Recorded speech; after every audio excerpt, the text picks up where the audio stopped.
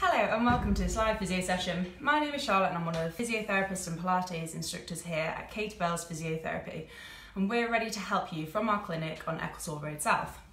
We are excited to be hosting a regular live physio video each week. We hear so often that people can't make it to the physio, they can't get the time off the work, they've just got such busy hectic lives and because of that our health suffers.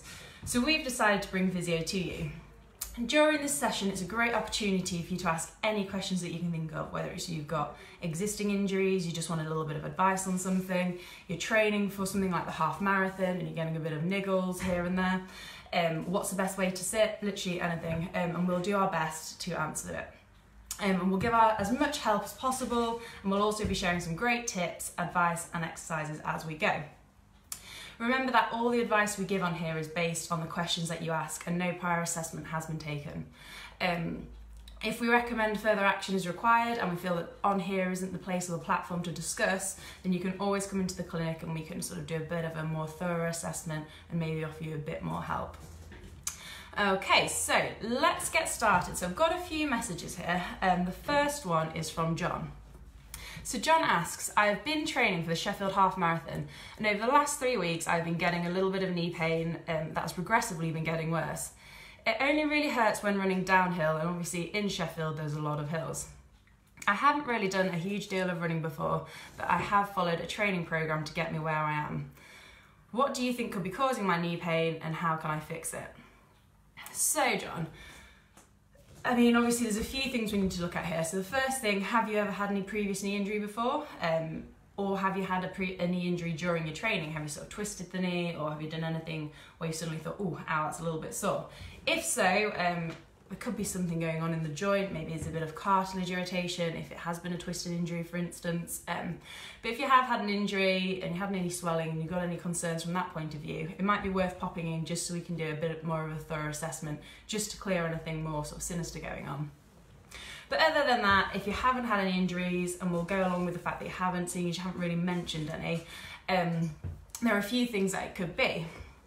Again, without doing a thorough assessment, we wouldn't be able to say for sure what we think it is, but just sort of based off past experiences and the sort of things people come in here with, I'll be able to give you a little bit of advice based on that.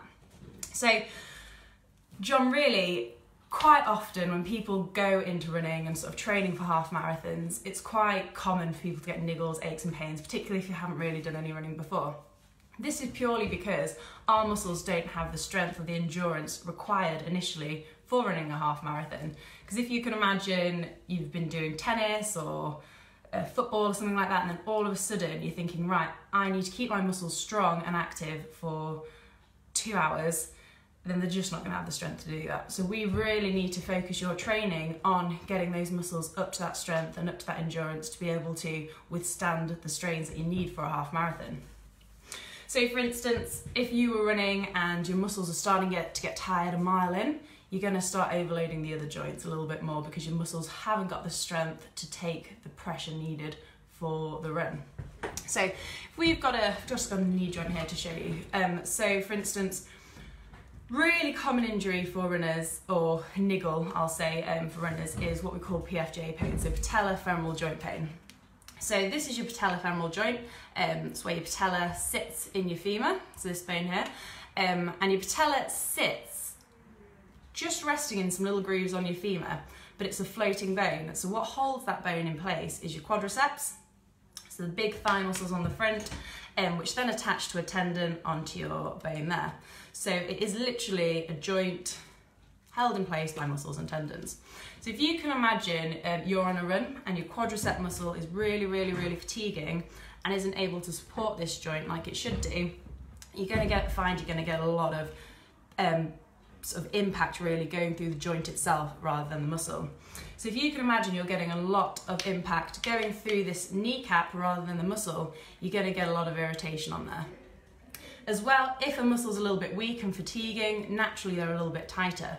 So if this muscle's tight, you can imagine it's going to be pulling this kneecap into that groove a little bit more.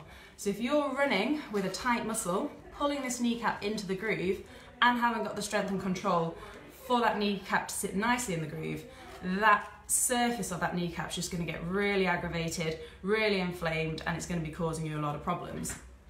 The reason why people find it most painful running down a hill is because when you run down a all the weight's translated through the front of your knee. So again, if you're running downhill and your muscles haven't got that strength to control that knee bend and control that joint itself, all the force is going through that knee and it's just going to be really, really sore and aggravated in there, okay? So that is, like I say, one of the main things we see with runners is patella femoral joint pain. Um, just because people haven't got the strength, haven't got the endurance within that quadricep to do the job it needs to do. So how can you how can you change that? So looking at what we call the eccentric quad control is sort of the muscle's ability to lengthen while contracting is a really good indication as to what muscle power you've got. So doing something as simple as a single leg knee bend, so sort of a single leg knee bend on the affected knee, bending that knee and coming back up. So looking at that control you have there. If you find your knees dropping in a little bit, dropping out a little bit, shaking all over a little bit, then the chances are it's probably doing the same when you're running. So if you're finding you haven't got that control around your knee just doing a single leg knee bend, then you probably haven't got that control around the knee running. So doing that as an exercise in itself is a really good way to try and build up some of that eccentric control around that knee. So I'd probably do that exercise until it burns really. So to really work a muscle, you need to feel a burn. There's no point in doing three sets of 10 if you're not feeling it. You need to do, I don't know, three sets of 20 if you're really feeling that burn after 20. And then that'll just build on that strength, build on that endurance a little bit more. Other things that could be causing that knee pain, um, do you have good stability around your hip?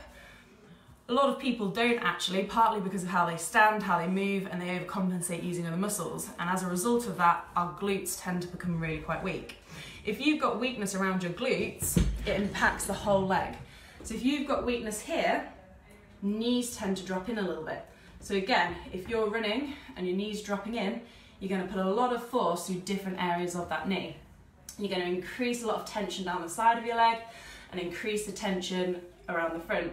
And again, just changing where that force is going through the knee can change where the impact's going through that kneecap, okay? So again, if you're weak around that hip, you're gonna have a knock-on effect. A really other common thing for knee pain is tight IT bands. I'm sure you've probably heard of IT bands. They are the muscles that run down the side here. So again, if they're getting really tight, they can refer pain into your knee. And a really good way to see if they are tight is sort of go about a hand's width above your knee and have a press into there. And that tends to be quite tender on people with tight IT bands. If it is, have a bit of a press, have a hold in there until it eases off, and you might find that that in itself helps ease that knee pain a little bit more. If you do feel um, that you maybe haven't got great hip control, haven't got like the strongest glutes in the world, that's fine. But it's really important to try and strengthen them, particularly with running. Because like I say, if you're struggling just to do a single leg knee squat and your knees dropping in, then you're gonna find that it's doing the same when you're running, okay? So ways that you can strengthen your glutes are things like squats, just making sure your pelvis is in the right position so you're actually engaging the right muscles, um, crab walks, clams, anything like that. Really good to build quad strength and glute strength. So yeah, I'd, ha I'd have a little bit of a play around, have a little bit of your look at your single leg knee squat, see what control you've got around that knee, see what control you've got around that hip, and sort of take it from there. If you're just thinking, wow, that's a lot to take on board, feel free to come and see us um, here at the clinic and we can do a bit more of a thorough assessment and sort of find areas where you have got weakness. Okay, if you're thinking, can I carry on running? Um, answers yeah, yeah, absolutely. It's all about graded loading. So if you are getting a little bit of pain when you're running, that's absolutely fine. It's just how significant is that pain. If you feel you're running and like, oh, it's a bit of a niggle, it's fine, then that's fine. Okay, if you're thinking, God, it's getting it's getting a bit bit sore now, above a four out of ten kind of pain, then that's maybe when you need to start thinking, right, I need to rein down my running and I need to sort of address the problem a little bit more. Again, have a look, is there any swelling there? If there is swelling, how long is it swelling for after your run? This again can be a bit of an indication as to what's going on around that knee. If it's swelling for longer than 30 minutes, again, I'd probably say you've done a little bit too much on that knee.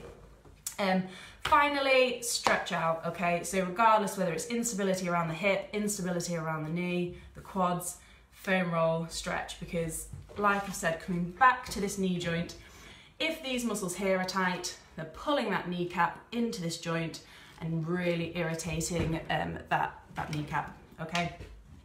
So foam roll out your quads, foam roll out your IT bands, simple stretches such as your classic quad stretch, so just bringing that foot behind, okay? Making sure those knees are in line, those hips are forward, you're up and tall, um, just to get that nice stretch through those quads.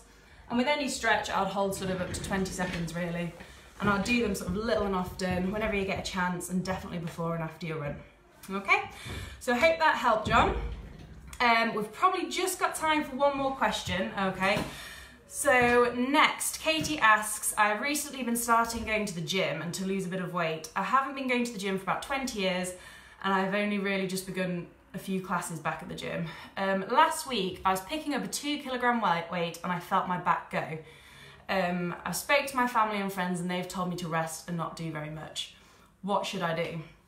Um, so Kate, first of all, I'd like to ask, are you having any neurological symptoms? So by this I mean, are you getting any pins and needles? Are you getting any numbness? Are you getting any changes with your bladder and bowel? Um, if you find that you are, I'd definitely book in to see a physio or your GP just to sort of clear any more sinister things that might be going on. If you're not getting any sort of pins and needles or tingling or anything like that, and you're just getting that ache across your lower back, then I'd, I'd probably say it could be could be very much muscular. Again, really hard to say without assessing you because there's so much things that can happen with your back. Um, it is hard to say without seeing you. Um, but I'll, I'll, sort of go through a few options that it could be. So with your back, um, I'll find a spine. Bear with me. Okay, so this here is a spine, all right? With ladies, it's very common for us to stand like this. So knees locked out, pelvis really tilted up, and shoulders really back, okay? So knees locking out, hanging on those joints, pelvis really tilted upwards, again, hanging on those joints, um, and it's just not engaging your muscles standing like that.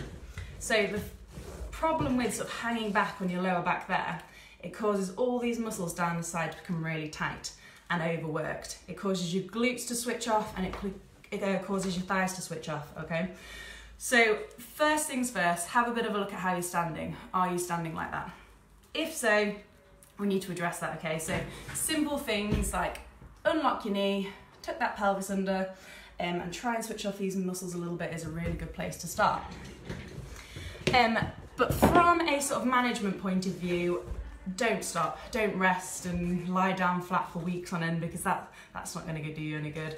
Our spine is built like this because it, it needs to move. If, if we were designed to stay still and rest and not do anything, it'd be one solid structure um, but, but it's not. so what I would do is some really gentle range of movement exercises, so sort of knee rolls, so lying on your back, knees together, just gently rolling them from side to side, some gentle knee hugs just to get that lower back stretched out a little bit. Um, and then from there, I'd probably look into doing some gentle um, soft tissue work yourself.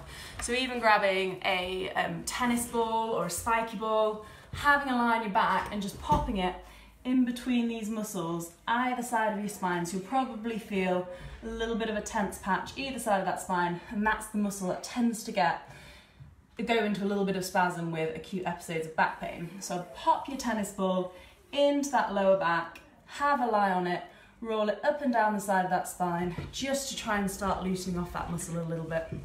Okay, and you might find that that just gives you a little bit of relief to get going on with your normal things. But like I say, keep moving, gentle, gentle things. Don't sort of go overboard and carry on with all your housework. Your back does need time to rest and settle down, but it's just really important to keep it moving. Okay, I hope that helped. I know, sorry, I could have gone into a lot more detail with that, but sort of just running out a little bit of time. So hopefully that's helped. If not, feel free to give us an email or pop in and see us and we can um, sort of give you a bit more help on that. Okay, so that's the end of today's Facebook Live. Um, thank you all to those who joined me and posted questions. We will be back again next week for another live session. So please come back and we can hopefully answer any questions that we didn't answer today and you can ask any questions that you didn't get a chance to ask today. Um, And if you can't wait until then, do drop us a me email at hello at katebellphysio.com and then one of the team will be there to help and sort of give you give you a little bit of response in regards to that question. All right. I hope that was helpful and we'll see you all next week. Okay, thank you.